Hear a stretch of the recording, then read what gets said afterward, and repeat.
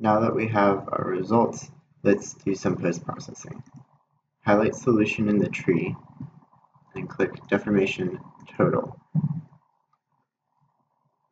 Click solve to evaluate the results and then let's take a look at it.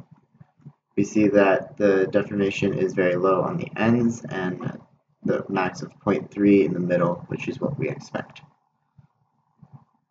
You can turn on the undeformed model using that option. If we go back to solution, we can add normal strains in the x, y, and z direction, and we can do the same for stresses. The other result that we want to look at is the force reaction to match the results with the experimental data. Choose the frictionless to support or the displacement, either one should give you the same results.